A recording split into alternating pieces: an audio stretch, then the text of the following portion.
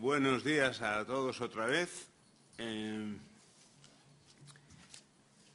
en dos indicaciones previas como manifestación de la flexibilidad de esta rígida eh, moderación, hay un pequeño cambio a petición de los ponentes en el orden de intervención. Intervendrá primero Magdalena Cervantes, después Fernando Silva y luego eh, Leticia Bonifaz. Y eh, comunico de antemano que, congruentemente con lo dicho antes, este moderador va a garantizar eh, estrictamente el derecho a la vida y a, las 13.30 en punto, 13.30 es, ¿no? sino el moderador, el director de las jornadas que me rectifique, a las 13.30 se va a detener la, intervención, porque no solo hay que garantizar el contenido esencial, es decir, el derecho a alimentarse, sino también el contenido eh, no esencial del derecho, que es alimentarse en condiciones, que la, que la comida no se quede demasiado fría, en fin, estas cosas. Por tanto, yo a las 13.30, mm, sintiéndolo mucho, levantaré la sesión, eh, se esté hablando no se esté hablando, eh, porque por, eso, por imposición de los derechos fundamentales garantizados en las constituciones, en los tratados internacionales suscritos por todos nuestros países. La, la sesión mm, este que iniciamos en este momento tiene el título genérico de la relación entre el sistema interamericano de derechos humanos y el constitucionalismo mexicano. Mm, yo no es que tuviera preparado a hablar mucho, pero en fin, voy a abstenerme por, ganar tiempo, solamente voy a decir que en fin, que el tema que vamos a tratar, salvo error u omisión por mi parte, seguramente el, eh, que está contenido en la, última gran reforma de la Constitución eh, mexicana. Digo última gran reforma, yo creo que ha habido dos, me, rectificáis, eh, ha habido dos grandes reformas. Una la reforma política o el conjunto de reformas constitucionales que comportan la reforma política a la que ayer se refirió el gobernador Núñez, eh, y luego la reforma del 11 en tema de derechos fundamentales que está dando lugar no solo a esta reunión, sino a, cientos de páginas, a mm, congresos, seminarios, eh, sentencias, comentarios de sentencias, etcétera. Em, pero, en fin, estoy convencido que después de esta reunión el tema estará mucho más claro ¿eh? em, en, todo caso. Eh, ayer me decía alguien, cuyo nombre no delataré, alguien que estaba sentado a mi lado, que, eh, que, em, que no hacen falta las presentaciones nunca, que lo que hay que hacer es decir el nombre y que cuando se ha acabado la intervención de la gente, el público ya tiene una idea mm, de quién es el que ha hablado, ¿no? o sobre todo de cómo es el que ha hablado. Eh, entonces yo me voy a limitar, siguiendo el orden nuevo de intervención, eh, hablará, como digo, en primer lugar Magdalena Cervantes Alcaide, directora del Observatorio del Sistema Interamericano del Instituto de Investigaciones Jurídicas de la UNAM, después Fernando Silva García, juez del Poder Judicial Federal Mexicano y, viejo conocido académico mm, nuestro, y en tercer lugar, Leticia Bonifaz Alfonso, directora general de Estudios, Promoción y Desarrollo de los Derechos Humanos de la Suprema Corte de Justicia de la Nación de México. El tema ya nos hemos referido a él, así que Magdalena, eh, cuando, cuando quieras, pues... Eh, eh, yo no he calculado cuánto es el tiempo de 25 minutos cada uno, o sea, tienes 25 minutos. Y aviso que ejerceré. Muy a todas y todos. no puedo iniciar sin agradecer en primera instancia al doctor Arnaiz la invitación. Para mí es un honor estar en este seminario. Y por supuesto agradecer también a Marcela Priego y a Jorge Roa, no lo veo por aquí, pero eh, la estupenda organización y además la hospitalidad con la que nos han recibido, que han hecho que la participación en el seminario no solo sea interesante, sino eh, nada, muy cálida en, términos de la, recepción. Eh, como les decía, para mí es un honor poder seguir los trabajos de este seminario aprender mucho de ellos y también poder compartir con ustedes algunas reflexiones sobre la relación entre el derecho, eh, la Constitución mexicana y el sistema interamericano de derechos humanos. Sabiendo que eh, se iba a ser estricto con los tiempos, escribí un texto que me voy a permitir leer en ánimo de cumplir con los tiempos que nos ha fijado eh, el moderador. Gracias, Pablo, por la presentación. empiezo. Eh, en América Latina, la aplicabilidad del derecho internacional de los derechos humanos en el ámbito interno de los estados ha ocurrido de diversas modalidades, aunque todas ellas a través del reconocimiento de esta rama del derecho en el marco constitucional y de la incorporación de fórmulas y cláusulas para operativizarlo. El caso de México no es la excepción. A partir de una reforma constitucional ocurrida en 2011, a la que se le llamó en materia de derechos humanos por la centralidad que tuvo este tema en la misma, se planteó la constitucionalización del derecho internacional de los derechos humanos y de esta forma su incorporación al marco jurídico mexicano. No obstante, el reconocimiento constitucional del derecho internacional de los derechos humanos no ha sido la única vía a través de la cual se planteó la incorporación de este derecho de este al derecho interno. De manera adicional, la Suprema Corte de Justicia de la Nación ha llevado a cabo varias interpretaciones con el objeto de explicar y también de limitar el alcance de esta reforma constitucional. Las reflexiones que a continuación presento van en estas dos pistas. Por un lado, abordar cómo estaba incorporado el derecho internacional de los derechos humanos en la Constitución mexicana hasta el 2011 y las novedades que introdujo la reforma constitucional, para posteriormente referirme a las interpretaciones que el Tribunal Constitucional de México ha hecho y los efectos que, estas han tenido en la ampliación o disminución del alcance de la reforma constitucional en materia de derechos humanos. Finalmente, voy a compartir con ustedes algunas reflexiones sobre si la composición actual de la Suprema Corte, que determina el tipo de decisiones que están tomando, representa un escenario favorable o no para los derechos humanos en México. Eh, bueno, dicho lo anterior, me refiero al marco constitucional previo a la reforma del 2011.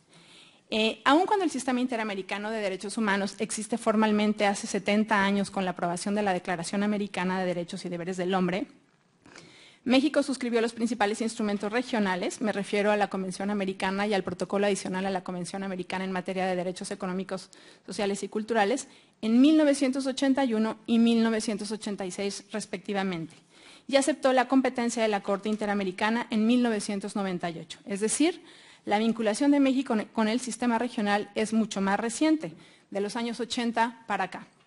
Si podemos hablar de varias décadas desde que se formalizó esta vinculación entre México y el sistema interamericano, la incorporación del derecho internacional a la Constitución es todavía más reciente. A diferencia de lo que ha ocurrido en varios países de la región, en México llegamos tarde, tarde hace apenas siete años. Antes de referirme al marco constitucional actual, me refiero al que existía previamente, lo que nos va a permitir ver las limitaciones que este marco constitucional imponía y también el alcance o la envergadura de, los cambios constitucionales que supuso la reforma de 2011. Durante buena parte del siglo XX, la Constitución mexicana contó con un solo mecanismo para incorporar el derecho internacional basado en el criterio de jerarquía. El artículo 133 constitucional establecía lo siguiente. Esta Constitución las leyes del Congreso de la Unión que emanen de ella y todos los tratados que estén de acuerdo con la misma, celebrados por el presidente y con la aprobación del Senado, serán ley suprema de la Unión. De acuerdo con la interpretación de la Suprema Corte a dicha norma, esta debía entenderse en el sentido de que los tratados internacionales se encontraban en segundo plano, inmediatamente debajo de la Constitución y por encima del derecho federal y local. De esta forma, la Constitución se ubicaba en la cúspide de las normas que integraban el sistema jurídico mexicano, debiendo el resto de ellas, las leyes federales, los tratados, las constituciones y leyes locales, ser acordes con ella. Los tratados, por su parte, se encontraban en un segundo plano, debajo de la Constitución y por encima de las leyes generales, federales y locales. En otras palabras, hasta junio de 2011, la interpretación que prevaleció fue que los tratados tenían un nivel jerárquico infraconstitucional, pero supralegal. Es importante señalar que conforme el artículo 133 al que acabo de hacer referencia, los tratados, las leyes federales y locales, debían estar sometidas a lo que estableciera la Constitución. ¿Qué quiere decir esto? Que aquello que no estuviera reconocido en la Constitución no existía en el sistema jurídico mexicano. Ese era el marco jurídico antes de la reforma constitucional del 2011. Me refiero ahora al cambio de paradigma constitucional. Eh, como he venido refiriendo, por vía de una reforma constitucional en materia de derechos humanos ocurrida en junio de 2011, se abrió un escenario diametralmente diferente para incorporar en el ámbito interno el derecho internacional de los derechos humanos. El, alcance de las normas reformadas, en particular las incluidas en el artículo primero constitucional, ha llevado a diversos constitucionalistas a referirse a un nuevo paradigma en el constitucionalismo mexicano. Pedro Salazar y Miguel Carbonell sostuvieron que la incorporación del derecho internacional de los derechos humanos era el aspecto que justificaba, sin exageraciones, que esta reforma suponga la adopción de un nuevo paradigma en el constitucionalismo mexicano. Que las normas de derechos humanos de origen internacional se ubiquen en el máximo rango del ordenamiento jurídico es de toda la relevancia en la medida en que le exige a todas las autoridades del Estado actuar conforme a ellas. Si bien es indiscutible que la incorporación del derecho internacional de los derechos humanos en la Constitución ocurrió a través de una reforma constitucional, me parece una omisión no abordar como referente contextual para que esto ocurriera que los casos de la Corte Interamericana que hasta ahora se han presentado contra México o contra el Estado mexicano se presentaron en el, lapso de 2004 a 2011, es decir, exactamente en los años previos a la publicación de aquella.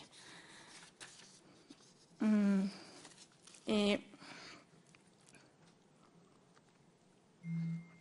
la reforma constitucional en materia de derechos humanos es amplia y rica en contenido. Uno de los cambios más significativos fue el otorgamiento de rango constitucional a las normas de derechos humanos previstas en tratados internacionales de los que el Estado fuera parte. En el artículo primero, párrafo primero, se estableció Todas las personas gozarán de los derechos humanos reconocidos en esta Constitución y en los tratados internacionales de los que el Estado sea parte. De acuerdo con ello, los derechos incluidos en los tratados adquirieron un reconocimiento constitucional expreso, situándolos en la cúspide de la jerarquía normativa con respecto al resto de las disposiciones del orden jurídico. De manera complementaria, en el segundo párrafo del artículo primero se estableció que las normas relativas a los derechos humanos se interpretarán de conformidad con la Constitución y con los tratados internacionales de la materia, favoreciendo en todo tiempo a las personas la protección más amplia. Los dos primeros párrafos del artículo primero son particularmente relevantes en la medida en que sustituyen el criterio de jerarquía que había prevalecido para la incorporación del derecho internacional, reemplazándolo por los derechos humanos y por mecanismos de interpretación acorde con ellos, como son la interpretación conforme y el principio pro persona. Ahora me refiero a las interpretaciones que la Suprema Corte de Justicia de la Nación ha hecho de la reforma constitucional del 2011.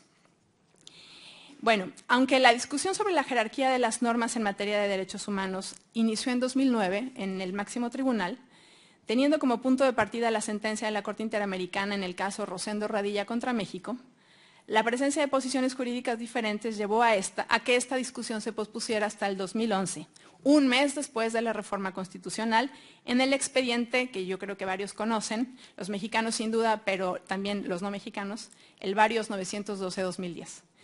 En este expediente, la Corte determinó tres aspectos muy importantes. La primera es la vinculatoriedad para el Poder Judicial de las sentencias de la Corte Interamericana en casos contra México y el carácter orientador de la jurisprudencia de la Corte Interamericana que deriva de las sentencias en donde el Estado no es parte, como lo señalaba el juez eh, eh, de la mesa pasada. Eh, la segunda decisión que tomó la Corte en este caso, en el Varios 912, es que los jueces mexicanos debían ejercer control de convencionalidad ex oficio en materia de derechos humanos en un modelo de control difuso de convencionalidad. Y un tercer elemento que en el Varios aborda la Corte es la restricción del fuero militar en ciertos casos. En relación a la obligación de los jueces de llevar, control de, de llevar a cabo un control de convencionalidad, se presusó que el parámetro de análisis para ello eran los derechos humanos contenidos en la Constitución, en la jurisprudencia emitida por el Poder Judicial, en los tratados internacionales de los que el Estado mexicano fuera parte y los criterios de la Corte Interamericana determinadas en las sentencias contra el Estado mexicano. Asimismo, buscando aclarar cómo llevar a cabo el control de convencionalidad, en el Varios 912, la Suprema Corte desarrolla un método de tres pasos para la aplicación del control de convencionalidad. Por razones de tiempo, no voy a referirme a este método y eh, simplemente señalar adicionalmente que eh, reconocer la obligación de las y los jueces de realizar un control de convencionalidad ex oficio significó transitar de un sistema concentrado. Anteriormente solo la Suprema Corte podía interpretar la Constitución y en su caso decretar la inconstitucionalidad de una norma, a uno difuso en el cual los jueces federales y locales están obligados a realizar un estudio de convencionalidad de todas las normas y en su caso inaplicar aquellas leyes locales que no pasen el control de convencionalidad, pero sin poder declararlas inconstitucionales o inconvencionales con efectos erga omnes. Sobre el fuero militar se interpretó que el artículo 57 del Código de Justicia Militar era incompatible con lo dispuesto en el 13 constitucional a la luz de los artículos 2 y 8.1 de la Convención Americana, debido a que al establecer ciertos debido a que al establecer que ciertos delitos deben revisarse en la jurisdicción militar, no garantiza que el civiles o sus familias eh, que sean víctimas de violaciones a derechos humanos eh, tengan acceso a un juez natural u ordinario. Eso en relación a las, al varios 912. Otra interpretación del Tribunal Constitucional de suma importancia, eh, que yo creo que conocen más, es la contradicción de tesis 293 diagonal 2011. Los puntos que se pusieron a discusión fueron la posición jerárquica de los tratados internacionales de derechos humanos en relación con la Constitución y si la jurisprudencia de la Corte era orientadora o vinculante. Adicionalmente, el debate se centró en los límites o restricciones constitucionales de los derechos humanos. La contradicción de tesis 293 resolvió lo siguiente, y es importante decirlo, lo que se resuelve en esta contradicción queda sentado como jurisprudencia, lo que significa que es obligatoria para todos los juzgadores del país. Primera cuestión, reconocimiento de lo que denominó parámetro de control de regularidad constitucional, integrado por el conjunto de derechos humanos, cuyas fuentes son la Constitución y los tratados internacionales de los cuales el Estado mexicano sea parte se especificó que estas normas, independientemente de su fuente, no se relacionan en términos jerárquicos, sino a partir de los principios de interdependencia e indivisibilidad. Adicionalmente, hizo un reconocimiento de la validez de las restricciones constitucionales. De acuerdo con esta decisión, cuando en la Constitución haya restricciones presa al ejercicio de los derechos humanos, se deberá estar a lo que indique la norma constitucional. Y finalmente se reiteró el criterio de la vinculatoriedad de las sentencias de la Corte Interamericana, aunque ampliándolo al señalar que incluso en aquellos casos en que el Estado mexicano no sea parte, para todos los jueces mexicanos. Eh, que la jurisprudencia emitida por la Corte Interamericana es vinculante para todos los jueces. se señaló que la jurisprudencia de la Corte sería vinculante para todos los jueces siempre y cuando sea más favorable para las personas. Eh, y, estableció ahí que para su uso los operadores jurídicos deberían atender tres elementos. Uno es que cuando el criterio se ha emitido en casos en los que el Estado mexicano no sea parte, el, precedente se debe aplicar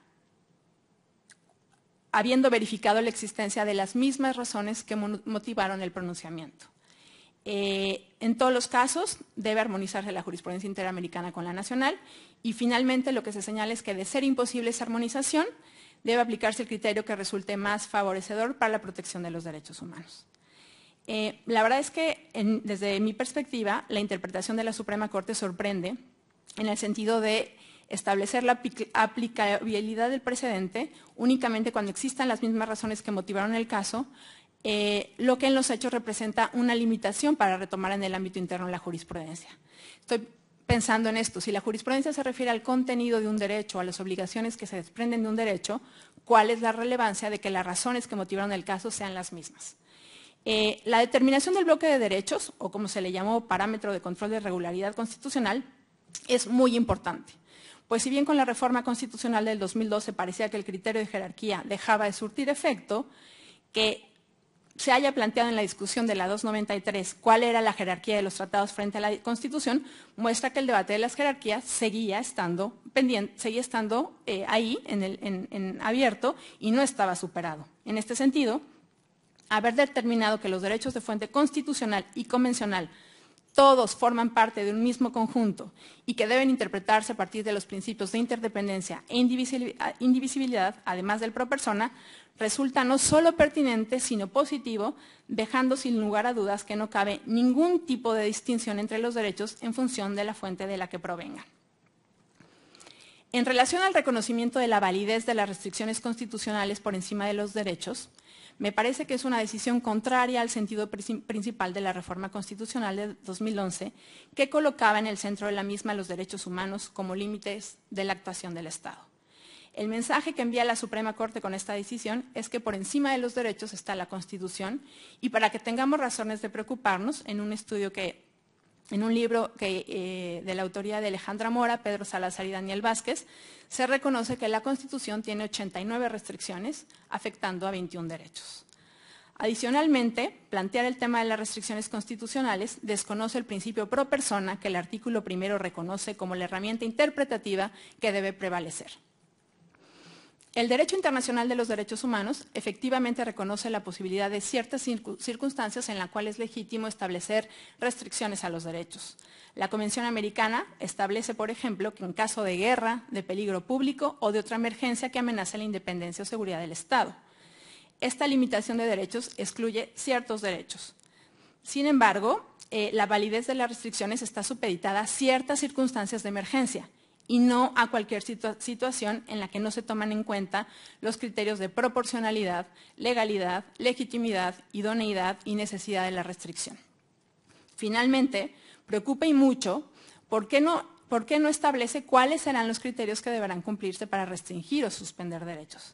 Si el Pleno de la Suprema Corte estaba discutiendo este tema, también tendría que haber abordado la legitimidad de las restricciones en tanto cumplan con los requisitos a los que acabo de referirme paso a una tercera interpretación de la Suprema Corte, que es el varios 1396-2011. Eh, en este varios eh, se reiteraron varios de los criterios establecidos en la, 2, en, la, 293 y en el varios 912, pero quisiera eh, destacar de manera particular algunas cosas que son relevantes de la 1396. Hay una cosa que se hace en la sentencia que me parece muy, digamos, destacable, que es, esta sentencia, eh, esta decisión proviene de una solicitud que se hizo a la presidencia de la Suprema Corte de revisar a través de un varios el alcance de las sentencias de Inés Fernández y Valentina Rosendo.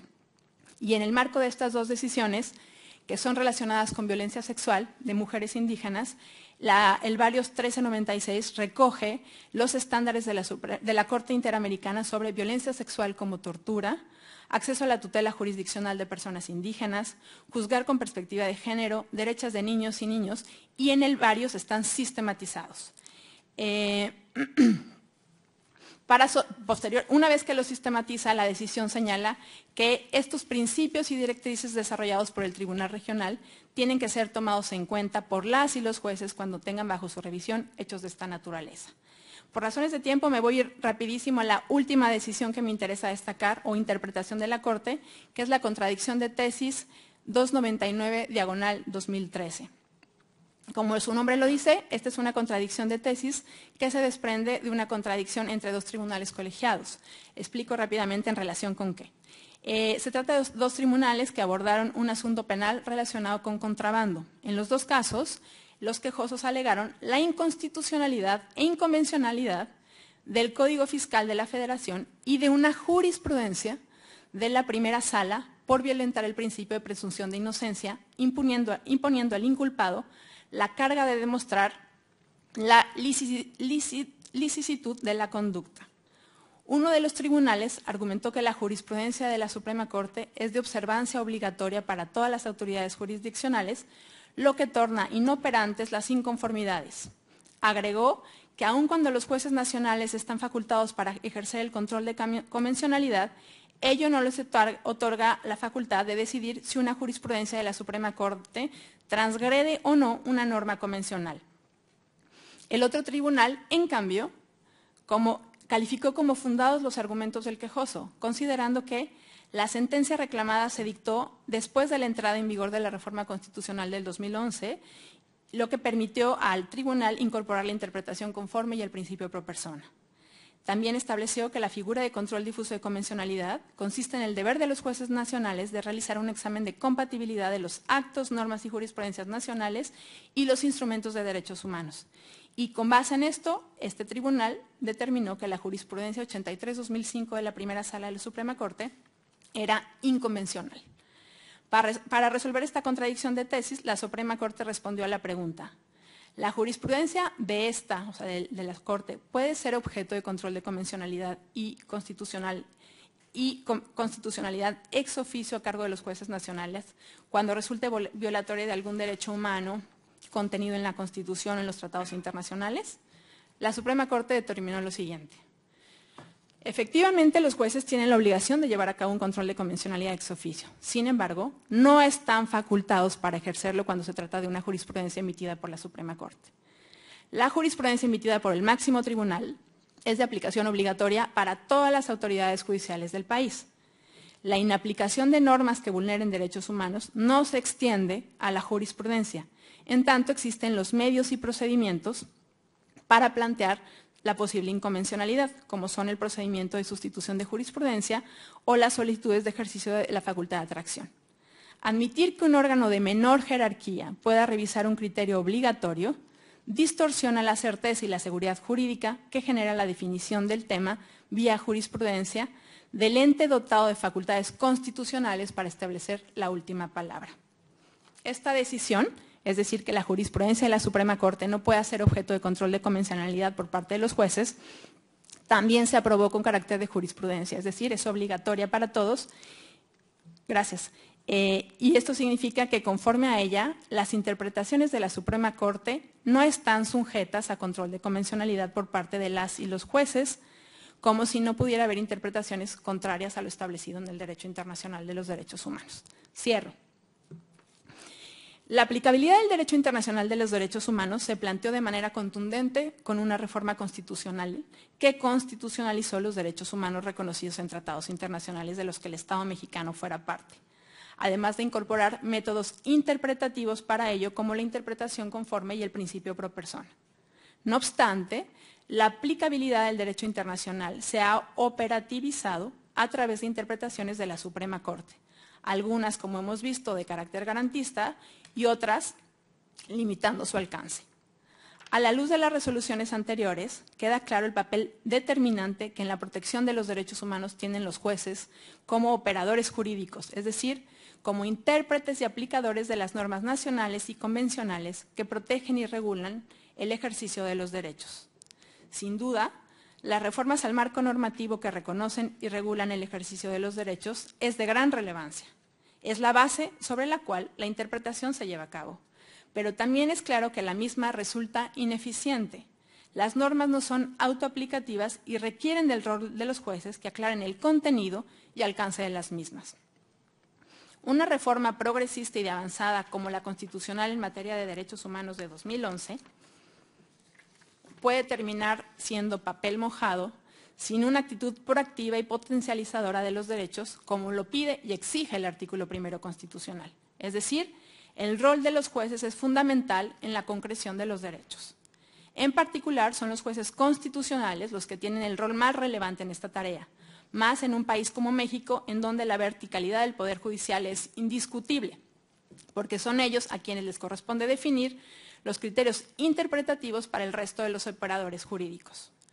Las interpretaciones que hemos revisado revelan el difícil compromiso que ha tenido que construirse entre juzgadores conservadores y liberales, en el sentido apuntado por Medina Salazar y Vázquez, y la, entre comillas, debilidad de la reforma ante una cada vez más consolidada mayoría conservadora en la Suprema Corte de Justicia de la Nación. Desde mi punto de vista, tomarse la reforma en serio, más en un contexto minoso para los derechos como el mexicano, marcado por la pobreza en que se encuentran 64 millones de personas, la desigualdad que marca todos los aspectos de la vida social, la grave impunidad que, alimenta cotidianamente la corrupción como elemento vergonzosamente distintivo de nuestra convivencia, la grave situación de violencia e inseguridad y la guerra contra el narcotráfico, supone maximizar, no acotar, los posibles alcances de la reforma constitucional. Y si eso supone abrir las puertas a una jurisprudencia caracterizada por una visión progresista y progresiva de los derechos reconocidos por la Convención Americana, por encima de las normas nacionales, esa es la ruta que desde mi punto de vista debería seguirse. Pero eso supondría que la visión liberal, más allá de nombres de ministros que en concreto, prevaleciera en la interpretación de la reforma. Malos tiempos corren, sin embargo, si se piensa que la apuesta del actual gobierno en las propuestas que ha hecho llegar al Senado para suplir las vacantes en la Corte han sido a favor de quienes sostienen visiones conservadoras. Lo anterior no es una mera exigencia intelectual. La Corte es al final, la Corte me refiero a la Corte mexicana, es al final del día la que marca la ruta a seguir a la entera labor jurisdiccional. Una Corte echada para atrás, lo único que hace es estimular la prevalente postura que se nutre del paradigma jurídico previo a la reforma en la que la inmensa mayoría de los jueces en México está formada. En ese marco se vuelve prácticamente imposible que pueda operar la actitud necesaria para entender, defender y concretar la reforma en derechos humanos, el que los jueces como operadores jurídicos fundamentales de la misma desaprendan lo aprendido y aprendan de nuevo como ha sostenido Pedro Salazar. Lamentablemente, hoy los estímulos que se generan desde el vértice judicial, con honrosas excepciones, no van en este sentido. Gracias por su atención.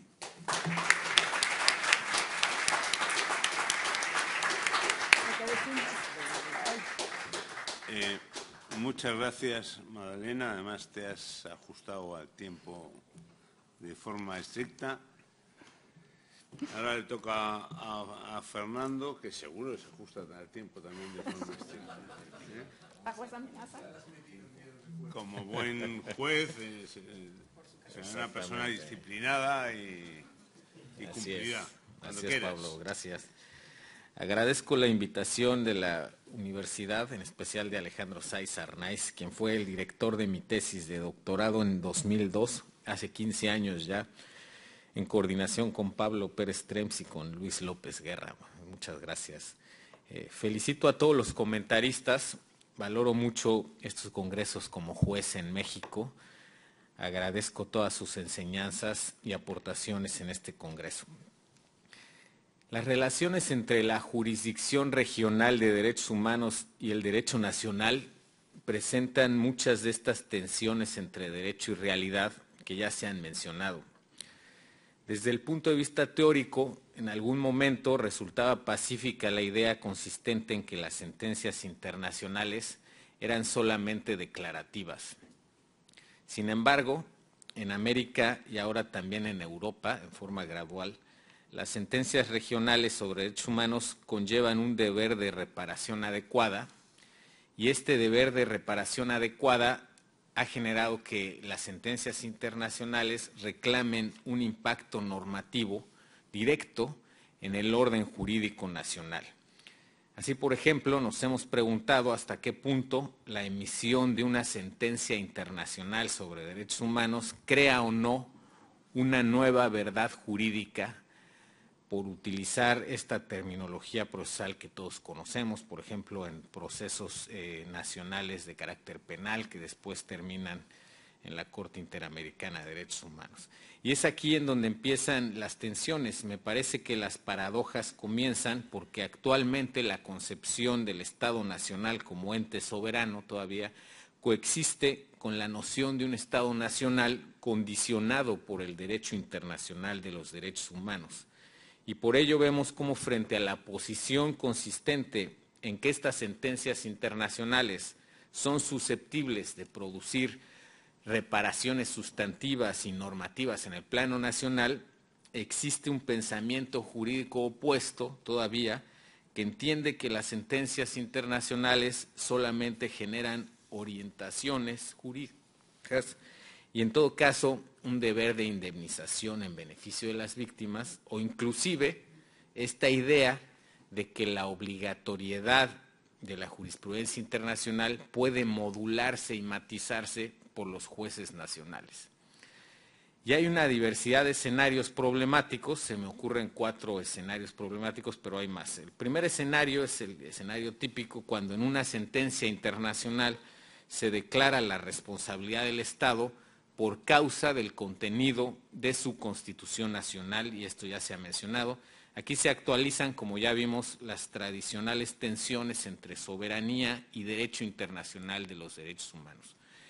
El segundo escenario problemático se da cuando en una sentencia internacional se declara la responsabilidad del Estado y directa o indirectamente se desautoriza una sentencia nacional firme.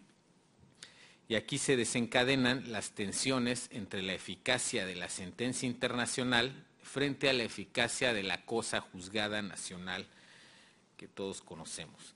El tercer escenario problemático es cuando en una sentencia internacional se declara la responsabilidad del Estado por causa del contenido de una ley nacional, y aquí se ha hablado de, de este concepto de leyes inconvencionales, y se generan entonces todas estas tensiones que suelen impactar en el modelo de justicia constitucional en relación con la llamada objeción contramayoritaria que opera en estos temas. Un cuarto escenario es cuando en una sentencia internacional se desautoriza el contenido de una jurisprudencia constitucional y se producen todas estas tensiones relacionadas con el estatus de los tribunales constitucionales nacionales que de alguna forma entran en disputa por la supremacía interpretativa de los derechos fundamentales a partir de este celo territorial que ya hemos visto. En suma, la incorporación de los sistemas regionales de derechos humanos es el germen de una obligada reordenación del derecho nacional. Y todas estas tensiones han estado presentes en el caso mexicano en relación con el tema que comentamos. Eh, a partir de la reforma constitucional de 2011 y especialmente a partir del cumplimiento del caso Radilla, la jurisprudencia de la Suprema Corte de Justicia eh, realizó cinco grandes transformaciones del derecho constitucional. Eh, la primera transformación guarda relación con esta idea de amplificación del parámetro eh, de validez representado por los derechos humanos. La Suprema Corte ha reconocido ya en su jurisprudencia que los derechos humanos contenidos en la Constitución y en los tratados internacionales constituyen el parámetro de control de regularidad constitucional de toda la actuación pública. La segunda transformación guarda relación con la obligatoriedad de las sentencias. La Suprema Corte ha reconocido en su jurisprudencia que las sentencias de la Corte Interamericana de Derechos Humanos son obligatorias para el Estado mexicano. La tercera transformación es la siguiente. La Suprema Corte ha reconocido en una votación muy cerrada que no solamente las sentencias contra México, sino toda la jurisprudencia interamericana es vinculante para todos los poderes públicos dentro del Estado mexicano. La cuarta transformación es eh, tiene que ver con la incorporación de los principios pro persona y de interpretación del derecho nacional conforme al derecho internacional de los derechos humanos. Y la quinta transformación guarda relación con el modelo de justicia constitucional. Antes de la reforma de 2011 en México operaba un modelo de control constitucional concentrado en los jueces del Poder Judicial de la Federación y a partir de 2011, la Suprema Corte redefinió el modelo de justicia constitucional y ha interpretado que todos los jueces, tanto locales como federales, están facultados, de oficio incluso, para inaplicar las leyes violatorias de los derechos humanos en el caso concreto. Todas estas transformaciones generaron que en 2013 la ONU emitiera un premio en materia de derechos humanos para la Suprema Corte de Justicia. Este nuevo modelo, eh, para algunos académicos, eh, generó un poco de alarma. Sin embargo, de 2011 a 2017, y calculando el número de sentencias que emite la Suprema Corte, podemos hablar de que existen alrededor o más de 15 mil resoluciones y sentencias este, entre estas fechas, de 2011 a 2017. Y con unos colaboradores estaban reportando y contamos alrededor de cinco o seis sentencias en donde en puridad se declara la inconvencionalidad de una ley nacional. Eh, a mí como juez, eh, igual eh, estoy contando que alrededor de, me han tocado emitir alrededor de cuatro mil sentencias, ¿sí? cuatro mil sentencias en materia de amparo administrativo, y a pesar de que soy un entusiasta del sistema interamericano, hemos contado alrededor de 10 sentencias en donde en puridad se declara la inconvencionalidad de una ley, desde luego. Lo hacemos cuando existe jurisprudencia, no lo hacemos en el vacío, lo hacemos cuando existe jurisprudencia de la Corte Interamericana de Derechos Humanos eh, en ese sentido. Bien, eh, Ahora, estas cinco transformaciones coexisten con una diversidad de jurisprudencias que han venido a descafeinar este nuevo paradigma constitucional. Desde cierta perspectiva, todo este neoconstitucionalismo en alguna medida se ha ido desconstitucionalizando por la propia jurisprudencia nacional que en clave de modulaciones y matices ha reinterpretado en cada nueva oportunidad la reforma constitucional de 2011. Y aquí vamos a mencionar cinco ejemplos que también conforman estas paradojas de las que ya hemos estado hablando. La primera paradoja, frente a la idea de que el parámetro de validez constitucional debe complementarse con los tratados sobre derechos humanos, la segunda sala de la Suprema Corte emitió una jurisprudencia obligatoria en el sentido de que los operadores jurídicos solo pueden acudir a los tratados siempre y cuando la Constitución no regule en forma suficiente el tema respectivo. Es decir, se parte de la premisa de una especie de autosuficiencia de la Constitución. Esto ha generado una especie de zona de confort judicial ¿sí? que ha permeado a todos los jueces del país, porque si el juez encuentra que la Constitución regula de una determinada forma ciertos alcances de una libertad o de un derecho, bueno, pues ya ni siquiera voltea a ver a los tratados o a la jurisprudencia internacional aplicable para resolver el caso. Máxime que la jurisprudencia de la Suprema Corte le da cobertura, digamos, a esa zona de confort. Además, esta idea de autosuficiencia de la Constitución, y nosotros lo hemos estudiado en, en, otras partes, y no voy a eh, mencionar datos exactos, esta autosuficiencia de la Constitución, este concepto, es inexacto. ¿sí? En las materias, por ejemplo, de privación vitalicia, ¿sí? de la libertad, de prisión preventiva, incluido el arraigo penal, las materias de detención, de presunción de inocencia, eh, en materia de derechos de las víctimas eh, en procesos administrativos disciplinarios, en el ámbito de la protección de los derechos humanos frente a particulares, en el ámbito de la protección de los derechos frente a omisiones legislativas y en materia de reparaciones, la jurisprudencia interamericana es ampliamente más profunda y evolucionada que la jurisprudencia constitucional. Segunda paradoja. Hemos dicho que las sentencias y la jurisprudencia internacional es obligatoria para el Estado mexicano. Sin embargo, la Suprema Corte ha emitido una jurisprudencia obligatoria, que ya se mencionó por Malena, en la que se prohíbe a todos los operadores jurídicos realizar un control de convencionalidad de la jurisprudencia de la Suprema Corte. Esto es indeterminado porque no sabe hasta qué punto, digamos, un juez nacional puede dejar de lado la jurisprudencia constitucional para aplicar la jurisprudencia interamericana. Es decir, no, no, se sabe eh, cuál es el alcance de esta prohibición de realizar un control de convencionalidad de la jurisprudencia de la Suprema Corte. E incluso se han presentado denuncias disciplinarias por parte de algunos jueces constitucionales frente a magistrados que han dado preferencia aplicativa a la Convención frente a la jurisprudencia constitucional. Afortunadamente, en el Consejo de la Judicatura se desechó esa denuncia porque versaba sobre un tema de carácter jurisdiccional protegido, digamos, por el principio de independencia judicial. Está consagrado en la Constitución. Esto ha generado que el diálogo judicial sea muy relativo. Es decir, cuando la Suprema Corte se pronuncia jurisprudencialmente sobre algún tema en concreto, esta aproximación resulta prácticamente inmune y sustraída de la deliberación judicial. A pesar de que en teoría los operadores jurídicos, de acuerdo a la propia jurisprudencia nacional, se encuentran vinculados no solo por la jurisprudencia de la Corte, sino también por los tratados y por la jurisprudencia interamericana de derechos humanos. Tercera paradoja. Hemos dicho que la jurisprudencia ha incorporado el llamado control de convencionalidad de las leyes.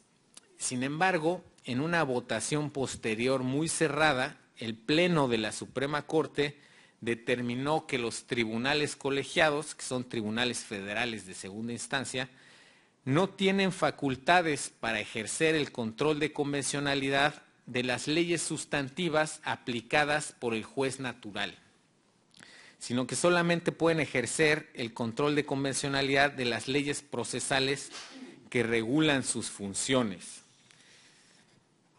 Por un lado, este criterio choca frontalmente con el nuevo modelo que se había instaurado de justicia constitucional y convencional de la propia Suprema Corte. Asimismo, este criterio en la práctica ha generado también este mensaje inhibitorio para todos los tribunales federales de segunda instancia, pues no es tan claro qué leyes pueden ser objeto del control judicial y tampoco está tan clara la razón para hacer esta división entre leyes sustantivas y leyes procesales para efectuarlo. Cuarta paradoja. Hemos dicho que la reforma constitucional introdujo el principio pro persona como un criterio de resolución de conflictos normativos e interpretativos. La Suprema Corte tiene dos aproximaciones opuestas con respecto a este principio. Por un lado, la segunda sala ha establecido que este principio pro persona no cambia en nada los presupuestos procesales y las reglas de procedencia en los juicios. Por otro lado, la primera sala ha dado la pauta para que los presupuestos procesales y las reglas de procedencia se interpreten respetando el principio pro accione como una manifestación del principio pro persona. Quinta paradoja. Eh, como ya hemos mencionado, el artículo primero constitucional prevé el llamado principio pro persona. La Suprema Corte emitió una jurisprudencia muy dividida y estableció que en caso de conflicto entre una norma sobre derechos humanos de fuente internacional y una norma constitucional que contenga una restricción expresa a derechos humanos, debe estarse a lo que establece la restricción a los derechos humanos. El ministro José Ramón Cosío puso de manifiesto una paradoja interesante a este respecto y señaló, o las normas sobre derechos humanos de fuente internacional son parte de la Constitución y por ende deben utilizarse como parámetro de validez de todo el conjunto, o bien, en caso de que las restricciones constitucionales prevalezcan en términos absolutos, tendría que reconocerse que las normas de fuente internacional de derechos humanos no son en realidad parte de la Constitución y de ese parámetro de validez. El tema de los derechos humanos y las restricciones constitucionales es muy inquietante. Me explico. Es conocida la técnica del constitucionalismo consistente en elevar a rango constitucional los derechos y libertades para dotarlos de esa eficacia reforzada frente al legislador secundario. Ahora bien, en el constitucionalismo mexicano se da una situación paradójica muy especial. Esta técnica del constitucionalismo se ha llegado a utilizar para introducir en el texto constitucional figuras esencialmente autoritarias para que sean inmunes al control judicial. Esto sucedió con el arraigo en materia penal. El arraigo en materia penal eh, es una especie de prisión preventiva, ¿sí? que faculta al Estado a detener a una persona, en primer lugar, para después investigarla. ¿sí? Se detiene a una persona de 40 a 80 días para después investigarla. Es decir, eh, el arraigo permite detener a una persona sin datos objetivos que razonablemente permitan inferir su participación en el delito respectivo. Se ha intentado justificar esta figura a partir de los derechos de las víctimas, sin embargo es muy cuestionable si las víctimas tienen o no un derecho a la detención de una persona antes de ser investigada en forma adecuada. Pues bien, en un primer momento el arraigo se introdujo en una ley secundaria y la Suprema Corte en su momento declaró que esta ley violaba la Constitución, violaba la libertad personal. Años después, el poder de reforma en su momento incorpora esta figura del arraigo dentro de la Constitución para que resultara inmune al control judicial.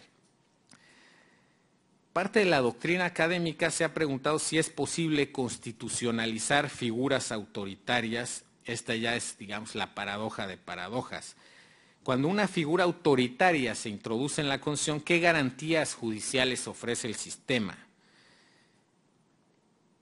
Cuando una figura autoritaria se introduce en la Constitución, los principios pro persona y de interpretación conforme de acuerdo al artículo 29 de la Convención y primero constitucional podrían operar como una especie de control judicial horizontal de carácter interpretativo del propio orden jurídico primario.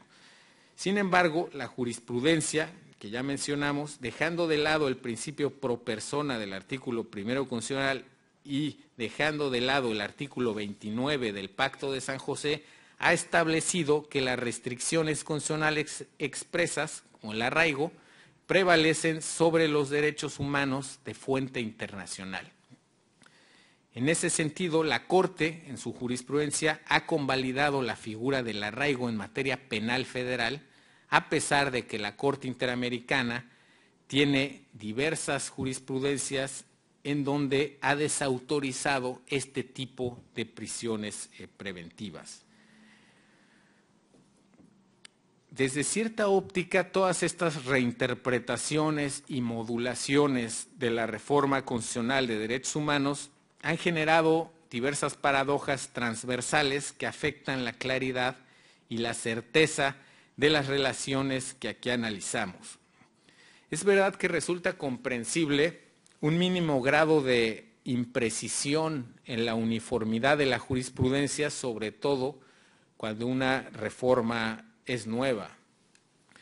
Sin embargo, cuando coexisten posturas jurisprudenciales diametralmente opuestas, existe el peligro de relativizar el valor que tienen los derechos humanos dentro del Estado constitucional. Como hemos visto, actualmente tenemos una constitución que es pro persona y al mismo tiempo tenemos una constitución que es pro restricciones a los derechos humanos de fuente internacional. De manera que estos cambios y vaivenes interpretativos han generado una especie de estado de bipolaridad jurisprudencial y esta bipolaridad interpretativa podría dar lugar a una especie de constitucionalismo líquido en el terreno de los derechos humanos, tomando prestadas las aportaciones eh, de Bauman. No debe perderse de vista que esta ausencia de solidez constitucional genera que los casos bien puedan resolverse válidamente a partir de un sistema jurisprudencial garantista y que también puedan resolverse válidamente a partir de un sistema jurisprudencial reduccionista, con el riesgo de que todo ello pueda hacerse depender del tipo de quejoso o según la clase de intereses políticos en juego. En suma, en México, como en muchos otros estados, no han sido sencillas las relaciones entre el sistema interamericano de derechos humanos y el derecho nacional. Como hemos expuesto, la reforma constitucional de 2011 continúa enfrentándose a la realidad y a la cultura jurídica imperante y todo esto nos enseña que las reformas constitucionales del futuro se enfrentan muchas veces con el obstáculo de jueces e intérpretes judiciales del pasado. Muchas gracias.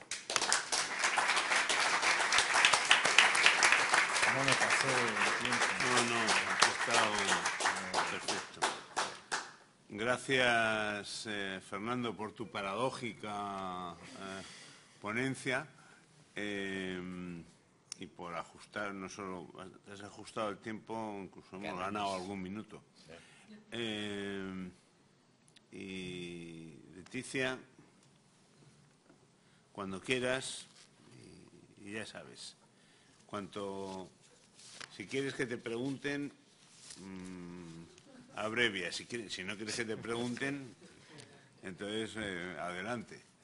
Eh, en fin, cuando, cuando tú quieras. Gracias, Pablo.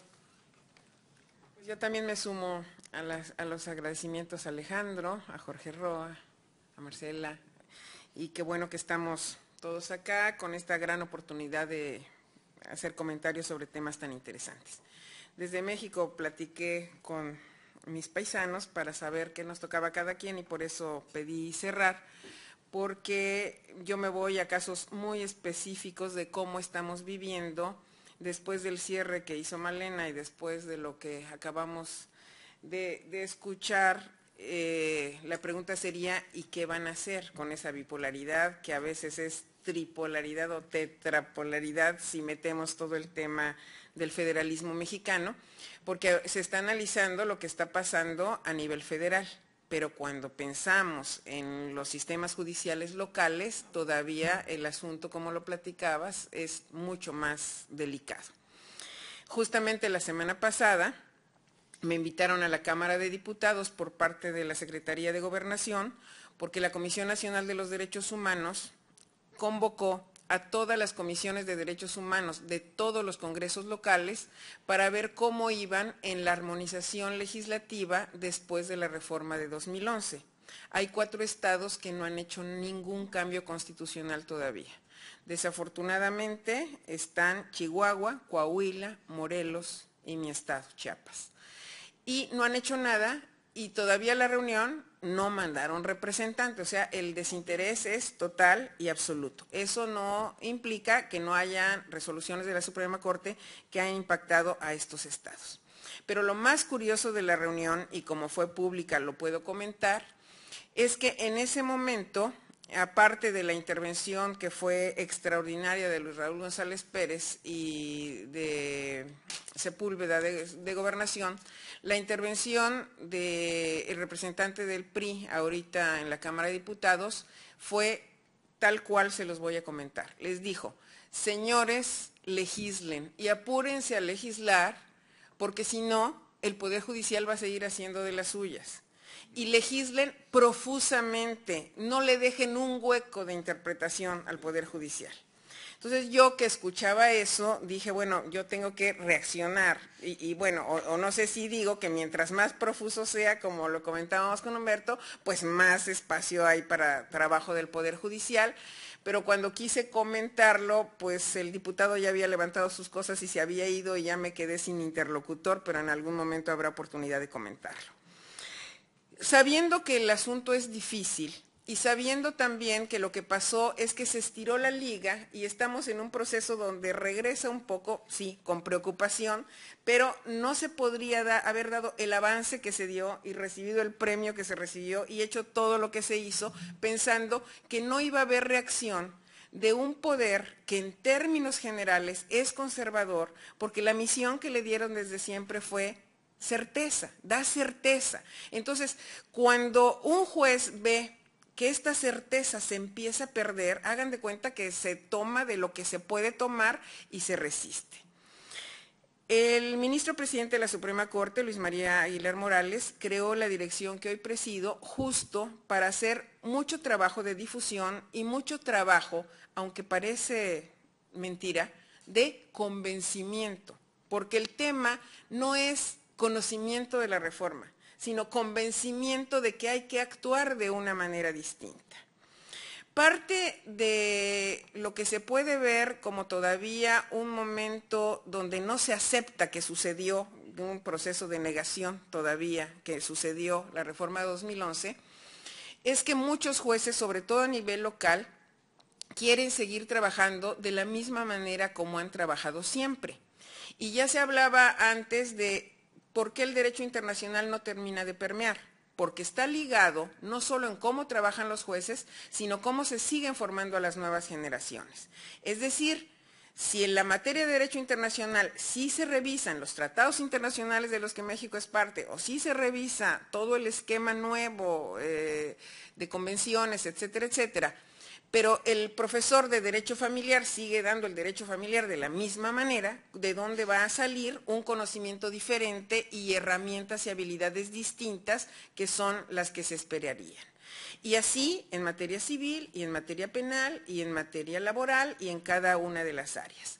Entonces, por esa razón es tan importante que este trabajo de difusión implique saber que hay resistencia, reconocer que esta resistencia existe y ya no solo esta división entre liberales y conservadores, garantistas y no garantistas, o como se quieran marcar las dicotomías, sino pensar que las resistencias tienen mucho que ver con el trabajo de todos los días.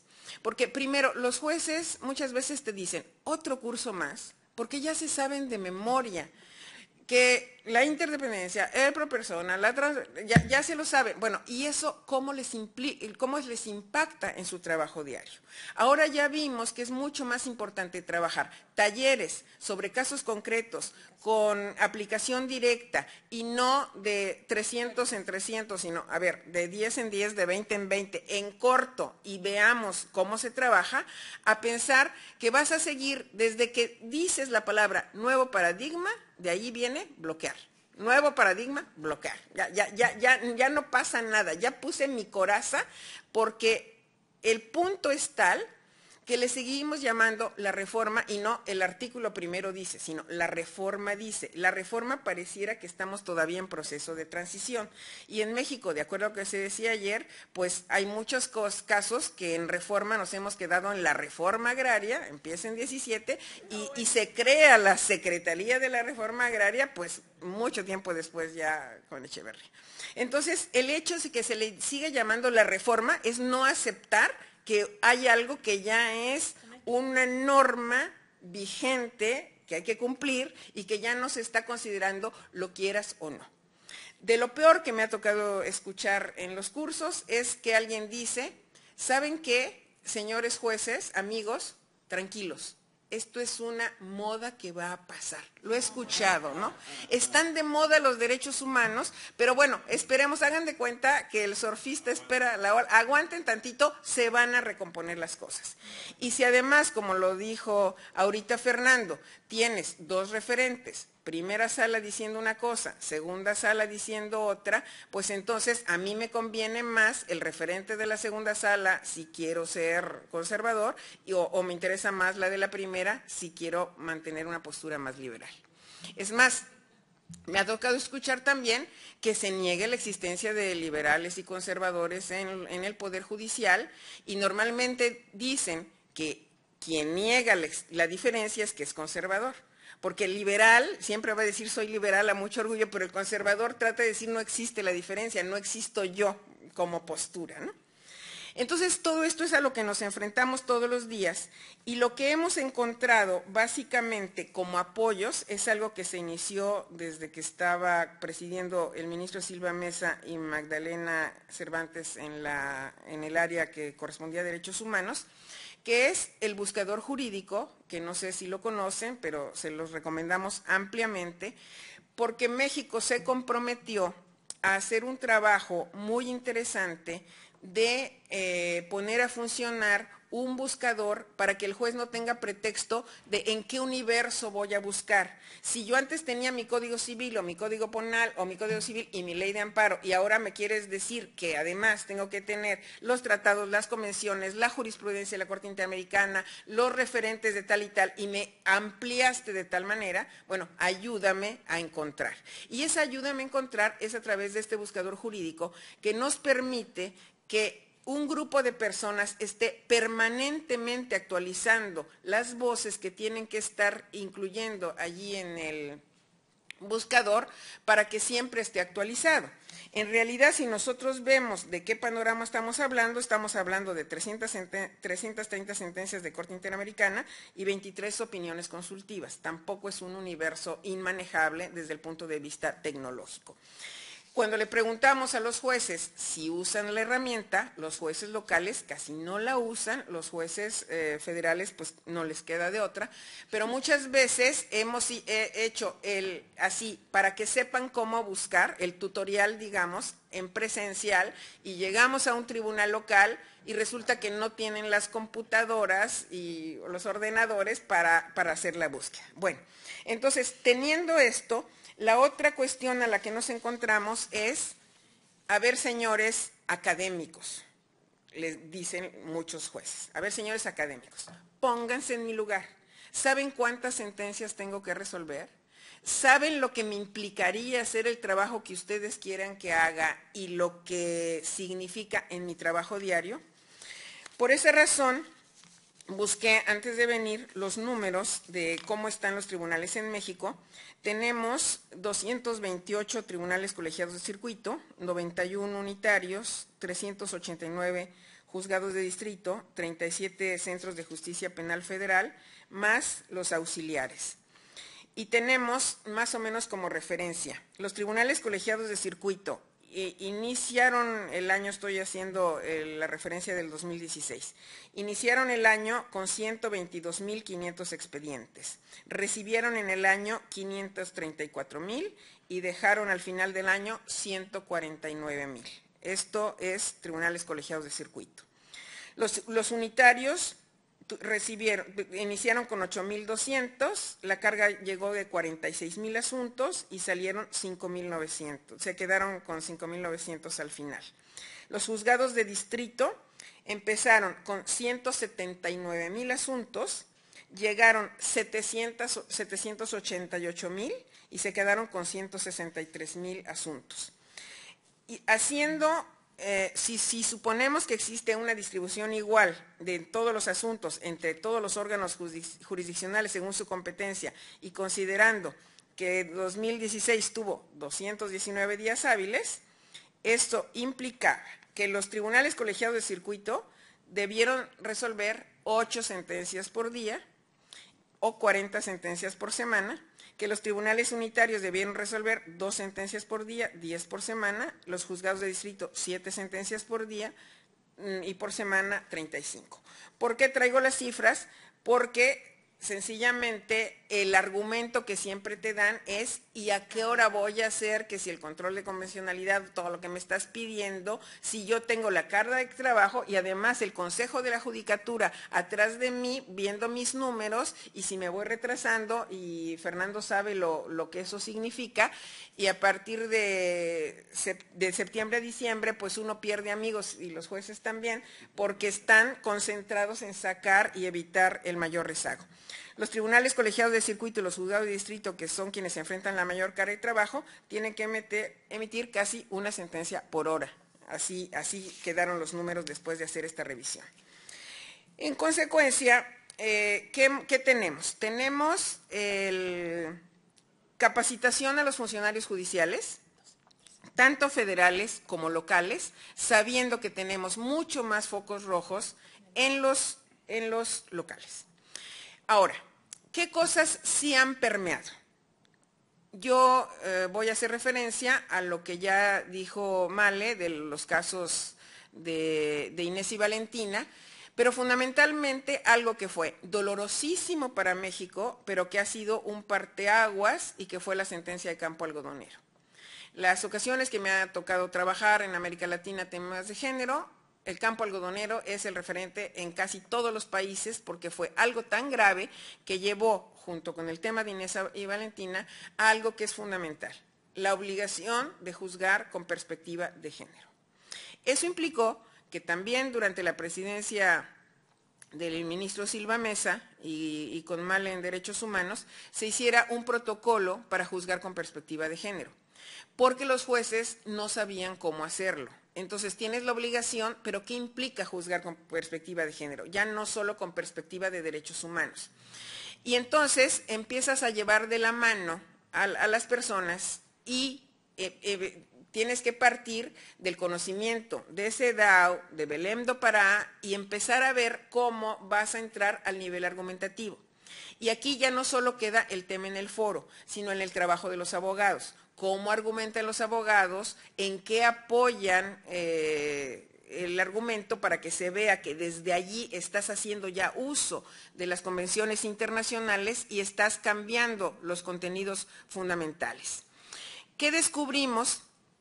en un análisis que se hizo, porque al inicio para fomentar que se juzgara con perspectiva de género, se hicieron concursos en donde los jueces que tenían una buena sentencia de acuerdo a su criterio, las inscribían en concurso y recibían premio. Eh, y eso implicó que viéramos muchas sentencias, me tocó analizar un buen número de ellas, y detectamos que en muchos casos, en el tema de género, hay referencias a CEDAW y a Belém do Pará, pero no hay en la argumentación recogido el fondo y el contenido que se quiere para llegar a la conclusión, sino solo para que vean que sí estoy usando el instrumento, digo que de acuerdo a CEDAW o de acuerdo a Belém do Pará y me sigo como siempre lo he hecho, pero yo le puse, le agregué como nada más el referente.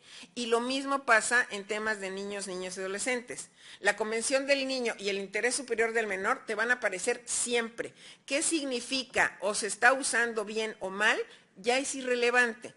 ¿Por qué? Porque lo que, lo que me están pidiendo es que yo haga referencia a eso. Ya hice referencia. ¿Eso impactó en mi resolución? Pues no necesariamente, porque el trabajo es que yo sepa que existe y que debe haber un interés superior del niño.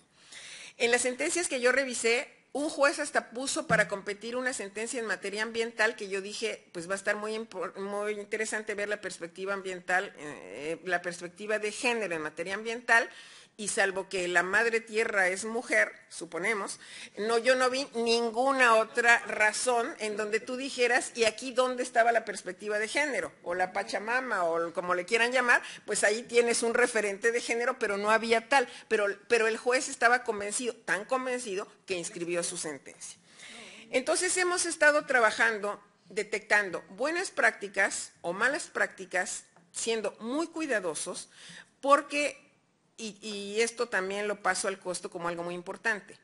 Para los jueces es mucho mejor que se formen por otros jueces. O sea, que el académico externo eh, que en abstracto no ha tenido esta sensación de tener la presión de la judicatura y de los tiempos y todo, es mejor capacitar un grupo de jueces y que el efecto multiplicador con los jueces no convencidos lo hagan otros jueces, o sea, es mucho mejor el trabajo interpares, eso está más que probado, porque de veras llega el académico y viene el bloqueo, como decir, bueno, y él si no ha estado de mi lado ni sabe mi proceso y por lo que yo paso, ¿con qué derecho está aquí? Y déjenme decirles también que aparte de los temas de género y aparte de los temas eh, de niñas, niños y adolescentes, el avance que ha tenido la Corte en materia indígena es muy importante y aquí lo ligo con lo que se vio ayer de las reformas constitucionales. Porque México, lo que sería el cambio de paradigma en materia indígena se dio antes, forzadamente en 1992, cuando se conmemoró eufemísticamente el encuentro de dos mundos, y a partir del 92 se puso un artículo cuarto constitucional que por fin reconoció la composición pluricultural de la nación mexicana, que antes no existía, Después viene el levantamiento del ejército zapatista en Chiapas y después viene otra reforma ya mucho más robusta, mucho más completa. Y yo diría que en esos casos, en los temas indígenas, y ya no es algo que yo diga, sino ya tenemos estudios que así lo demuestran, el trabajo de la Suprema Corte fue en materia indígena de avanzada mucho antes de la reforma de 2011.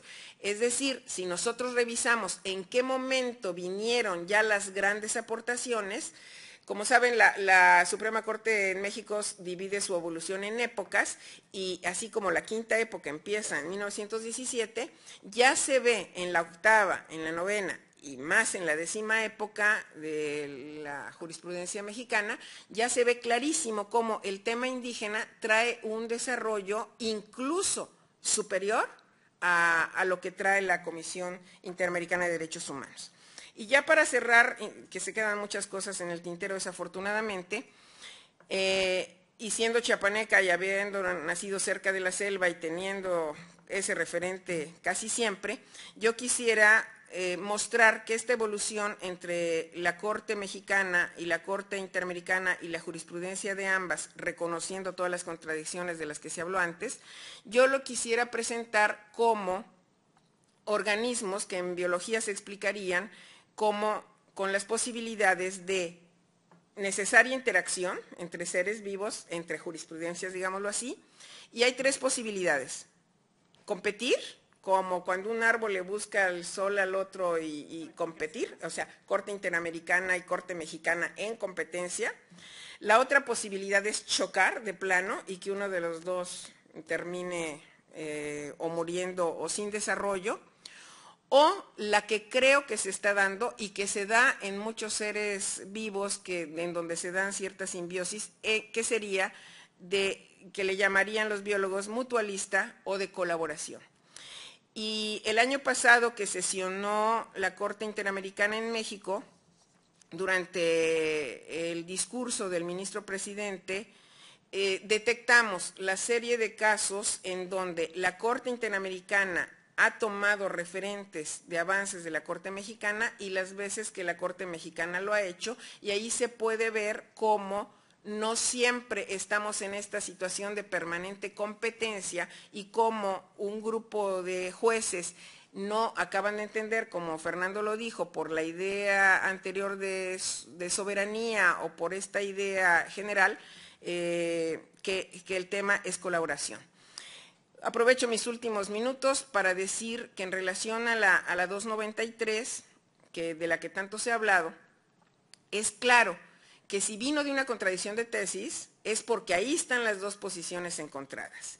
Y que si al final se tuvo esta mayoría inusitada, y que se haya quedado solo el ministro Cosío con su voto particular, también te dice algo, porque si no, si hubieran quedado garantistas y no garantistas, conservadores y liberales, en un 5-6-6-5 como estamos casi siempre, y sin embargo fue una cuestión muy clara a favor del criterio de la 293. Me tocó en algún momento en el CIDE la explicación que dio el ministro Saldívar del por qué él consideró oportuno el momento de plantear esta resolución de la contradicción de tesis y fue mucho hacia donde Male terminó, que es y cuál es la composición de la corte que viene. Arturo Saldívar sostenía que si no se sacaba en este momento que venía ya la sustitución de dos jueces liberales garantistas, que serían Olga Sánchez Cordero y el ministro Silva Mesa, que con la sustitución de ellos las cosas podían empeorar porque podían venir dos conservadores y que en la sustitución que viene del ministro Cosío y que las cosas todavía podían empeorar y que este equilibrio de 6-5 podría ser peor y que no llegáramos a la 2.93 que llegamos, sino a un escenario totalmente catastrófico. Así lo planteó el ministro Saldívar y como lo dijo en una sesión pública, lo puedo compartir porque no fue una confidencia al oído, sino en un seminario académico. Bueno, hay muchas cosas que se quedan, pero creo que, lo importante es que sepan que tenemos como misión seguir avanzando, no solo en el desarrollo de las mejores herramientas, sino en este convencimiento de que hay que trabajar eh, de manera lo más ligada también con las universidades y también con las, las barras, los litigantes, porque esto es un trabajo que se tiene que compartir y de todos. Muchísimas gracias. Eh, gracias, Leticia. Em, tenemos un cuarto de hora. Eh, y, por cierto, nos has dejado a los académicos sin trabajo. Eh, eso sí, ha sido capaz de incorporar la perspectiva medioambiental, los, árboles que crecen, y ha estado bien, y, otras perspectivas. Pero bueno, bromas aparte, tenemos un cuarto de hora. Luego, Alex, para no... ¿Dónde va a ser el, almuerzo? En el mismo lugar. bueno, pues un cuarto de hora y dentro de un cuarto de hora ya podemos parar e ir directamente al a, la perspectiva eh, ambiental, no sé, es ambiental y a la vez es sencillamente de, auto, de, vamos, de alimentación. palabras. A, ver, eh, a ver que hay mucho. Vamos a. ¿Por, qué, ¿Por qué al profesor López Guerra primero? Ah, de acuerdo, de acuerdo. Bueno, una pregunta muy, muy breve. Después, después del caso de la decisión en contradicción de tesis, entonces, lo que no es claro, el rango constitucional de las normas internacionales de derechos humanos es real o es aparente. Es decir, que, es, que es, tiene, tiene consecuencias prácticas o simplemente eh, pues se queda en una mera afirmación teórica. Es lo que no se ve un poco claro desde, fuera. Eh, eh, aprovechando el ejemplo, pido que las intervenciones sean breves y que las respuestas sean breves, así podemos participar más y luego el que esté interesado, pues en la comida pues, puede... ¿Quién quiere contestar? Bueno, seguimos haciendo preguntas.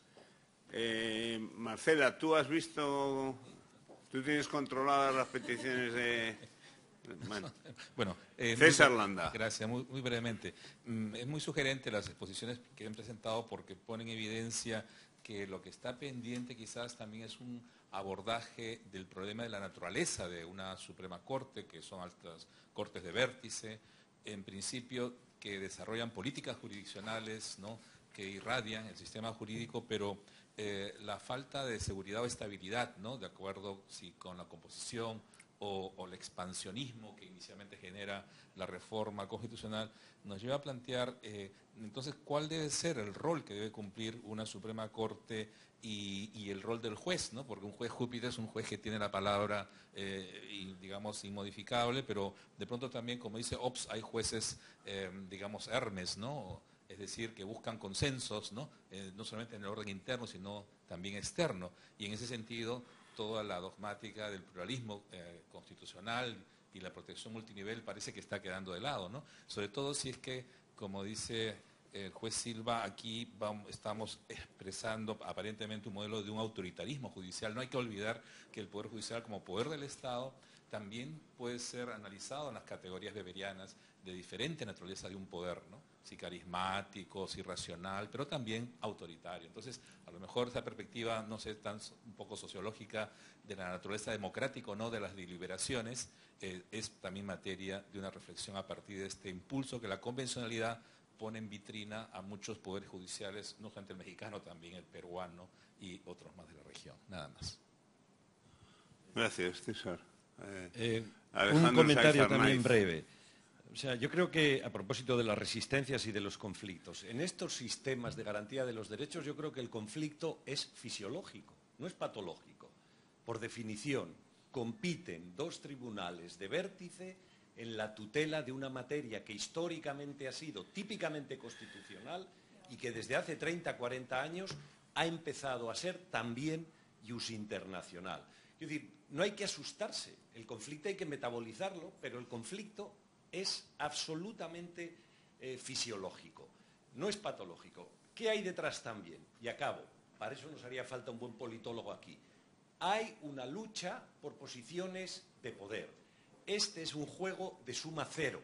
Lo que gana un tribunal internacional lo pierde la Corte Suprema o el Tribunal Constitucional. Eso es así.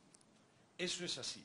Cuando un tribunal constitucional responde diciendo Corte Suprema de Argentina, Fontevecchia, no ejecutamos la sentencia de la Corte Interamericana.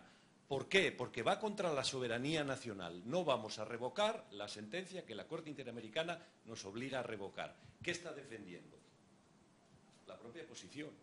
Cuando la Corte Interamericana o el Tribunal Europeo dicen un Estado no puede alegar las propias constituciones para eximirse del cumplimiento de las obligaciones que en forma de respeto a los derechos humanos resultan de esta convención, ¿qué está diciendo? Privilegiando la propia posición. Es decir, pero eso hay que asumirlo, porque al final, seguramente, y cada vez más, hay mucho más de lo que tú decías. Diálogo, interacción, formalizada o no, cauces de relación entre jueces que hablan de estos temas y que seguramente, porque tienen eh, entre otras cosas, un criterio institucional sano, entienden que va en beneficio de todos que el sistema funcione armónicamente, asumiendo que periódicamente va a haber conflictos. En febrero, la Corte Suprema Argentina dio un puñetazo en la mesa en el sistema interamericano. El Tribunal Constitucional de la Federación Rusa lo dio en el sistema europeo. Pero no ha pasado nada. Se arreglará, mm, seguiremos teniendo conflictos, pero seguiremos viendo cómo esa interacción o ese diálogo fructifican, se consolidan. Al final yo estoy convencido en beneficio de los titulares de los derechos. Gracias. Gracias, Alex. No estoy tan seguro que la suma sea cero siempre. Y luego todo depende de la fuerza con la que se dé el golpe en la mesa. Pero bueno, no voy a intervenir. Eh, eh, Paola, ¿no? Sí, gracias. Eh, yo quiero también agradecer a, las tres ponencias por, la luz sobre la experiencia mexicana, pero por lo que también aportan a reflexionar sobre las otras experiencias de la región y, globales. y quiero decir tres cositas. Primero, eh, que me parece que trajeron algo que estaba ausente del resto de nuestras conversaciones, que es eh, eh, también en qué medida el feminismo jurídico y la oportunidad de las conversaciones sobre el género, el derecho, la igualdad, están atravesando estas experiencias. El caso de campo algodonero, los casos de violencia sexual han sido eh, eh, para, el desarrollo de estas conversaciones en México, pero en toda América Latina, también parte del nuevo constitucionalismo latinoamericano y el, digamos, el constitucionalismo que el feminismo también ha construido, y me parece que ahí hay una contribución en este panel que, que todavía no habíamos resaltado en las conversaciones anteriores y que hace falta, digamos, hacer más visible, así que gracias por eso. Eh, en el ejemplo concreto que, dabas, Leticia, de esta incorporación de la CEDAW o de las citas formales de las fuentes y la falta de elaboración, quizás está una de las deudas eh, más profundas que tiene también el, feminismo y el conservalismo regional, que es incorporar los argumentos sustantivos de la conversación de filosofía política feminista que debe haber detrás de, estas eh, discusiones argumentales. Y, hay una experiencia que, que digamos, es paralela, me parece, a la que hemos visto en otras partes de la región. Yo hace muchos años, hace eh, más de 10 para esos trabajos que, hicimos sobre incorporación del derecho internacional en el derecho argentino, que compilaban Curtis, Abramovich, etcétera, revisé qué hacía la Corte Argentina con, los tratados y el tema género. Y en una época para la cual ya las citas de los otros tratados estaban, no estaban las citas de la CEDAW, totalmente invisibilizadas, eh, pero con los años se incorporaron y con los años llegaron también los argumentos sustantivos. Entonces también eso es un, es un proceso y, la academia eh, y el feminismo político también tiene una deuda en, digamos, involucrarse en esa conversación y ese es uno de los desafíos. El otro comentario que quería hacer era sobre el punto de la deuda académica. Eh, yo creo que, hay algo de razón en esa, en esa caracterización eh, del reclamo de ustedes no nos entienden porque están ahí aislados y no entienden las presiones, los contextos en los que trabajamos eh, las y los jueces y entonces no es bueno que nos vengan a capacitar. Pero también hay un estereotipo sobre lo que es la academia que no refleja lo que la mayor parte de los académicos en el mundo, diría yo, y en nuestra región eh, somos. Esa, idea de torre de marfil eh, es, un poco una, es una caracterización también inadecuada de lo que hacemos. Casi todas las personas que estamos aquí, la academia jurídica en general, eh, siempre está involucrada con la práctica. Es, más, es, mejor cuanto más vinculada a la práctica está. Entonces yo también, digamos, querría presionar un poco contra esa, ese estereotipo que por supuesto hay quienes contribuyen a desarrollar, pero no todos y mucho menos la mayoría de los que estamos aquí eh, representamos. Entonces ahí hay, digamos, que desarmar el estereotipo y por supuesto combatir la idea de que vamos a darles clases como si no tuviéramos nada que aprender de, ellos y ellas. Eh, y lo otro era un comentario final a la reacción de, Alejandro y, en la línea de lo eh, que decía eh, Pablo. Creo que, eh, perdón, creo que, la idea de aceptar que es suma cero implica renunciar a la posibilidad de actitudes más cooperativas, pragmáticas, etcétera, donde negociamos, donde a veces ganamos y a veces perdemos. Y yo querría hacer una, aclaración sobre el caso Fontevecchia. Eh, es un puñetazo, pero cuando vamos a las palabras de la Corte Suprema Argentina, si nos tomamos en serio el discurso con el que se ha dado, la Corte está diciendo algo mucho más razonable, me parece, que los, de las caracterizaciones eh, un poco superficiales del caso plantean. La Corte está diciendo eh, que, la Corte Interamericana se excedió de su competencia remedial cuando le dijo al Tribunal Argentino que debía revocar, si se interpreta, como lo interpretó el Estado argentino cuando le pidió a la Corte, que revoque su sentencia. Hay ahí un distinguishing, como proponía el profesor Landa, eh, que hay que hacer. A veces estamos eh, tomando todas estas idas y vueltas de jurisprudencia, mirando las reglas de los precedentes, como si fueran una conversión a todo o nada, suma cero respecto de esta relación, y los tribunales, eh, a un lado y otro de esta confrontación y esta lucha de poder, yo no, voy a decir que, no la hay, eh, tienen herramientas jurídicas para sofisticar su, pelea. Y, una herramienta jurídica eh, que, usó la Corte Argentina es una distinción de la parte eh, de eh, la sentencia que va a tomar, que es el remedio que incluye en la especificación la idea de que los tribunales latinoamericanos en una interpretación posible de ese remedio, deberían revocar sus propias sentencias. A mí me parece que hay una conversación mucho más sofisticada de la que se ha planteado cuando hemos mirado el caso Fontevecchia como una vuelta atrás 100% de esta lucha de poder. Y ahí entonces a mí me gusta más la, metáfora que usaba Leticia de estas tres formas de, combinación. Totalmente de acuerdo con que es, eh, es inherente al conflicto, que lo aceptemos. Eh, convivamos con él, pero hay conflictos, hay formas de afrontar ese conflicto, hay, formas más cooperativas, menos cooperativas, y quizás todas vayan a convivir, el, punto es más sobre, sobre la diversidad. Entonces, gracias. Eh, nos queda para una, una breve o dos muy, muy breves. Gracias. Em, Constanza Núñez de la Universidad de Chile. Em, en Chile estamos en proceso de reforma constitucional, espero que lo podamos sacar pronto adelante y evidentemente uno de los temas que se trata es la recepción del derecho internacional, el derecho interno, y quienes trabajamos estos temas miramos el ejemplo mexicano con mucho interés como una posibilidad de exportar este modelo a Chile. Sin embargo, quienes se ponen a este modelo usan precisamente las experiencias que ustedes explican de la jurisprudencia para oponerse a, recibir este modelo. Entonces mi pregunta es, si en el proceso de discusión de reforma, eh, en su caso, se podría haber hecho algo distinto em, para que este resultado no se diera, o simplemente tiene que ver eh, con, lo que comentaban al final de la resistencia a los jueces. Nosotros lo tenemos incluso más difíciles que ustedes porque nuestros jueces llegan a decir incluso que el derecho internacional no es derecho. Entonces, ahí ya, ya lo tenemos más difícil. Em, entonces, ¿qué viene, qué viene primero? ¿Una, una reforma eh, que mueva a los jueces hacia allá o al revés? ¿Trabajar primero y después la reforma? Gracias. Por lo menos los jueces chilenos lo dicen. Hay muchos que no lo dicen. Eh, otra más, venga, rápida. Miguel, tú. Ah. Pues venga, es. Sí, sí, sí. ¿Ha visto?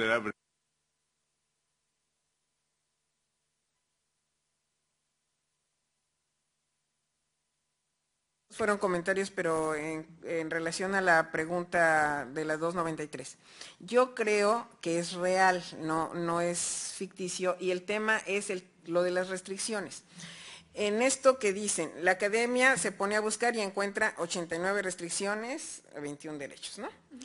Yo no creo que ese trabajo se haya hecho previo, porque en realidad el punto clave en México, cuando estuvo toda la discusión de las restricciones, en todos los casos remitían al arraigo. Entonces, lo que yo puedo pensar, conociendo el funcionamiento del sistema mexicano, es que seguramente para el tema del arraigo hay una petición expresa del Ejecutivo eh, y en tanto no se rehaga todo el sistema de procuración de justicia, de decir, me quitas el arraigo y se me cae todo, eh, una serie de investigaciones, porque ahorita el arraigo es un instrumento, sobre todo contra el crimen organizado, que me está siendo útil horrible, espantoso, contrario a todos los derechos, pero seguramente hubo una petición de me vas a generar un caos terrible y en parte yo siento que la lectura no está en relación a las otras restricciones. Tenemos restricciones que Diego conoce muy bien, que son la que no voten los ministros de culto. Pues allí hay una explicación histórica de que por qué está puesta ahí la restricción y se entendería y se explicaría. Pero el arraigo es, no se entiende, excepto que la Procuraduría no investiga bien en las condiciones actuales. No sabemos si con la nueva Fiscalía las cosas vayan a cambiar, pero para mí esto llevaba un apellido y era arraigo.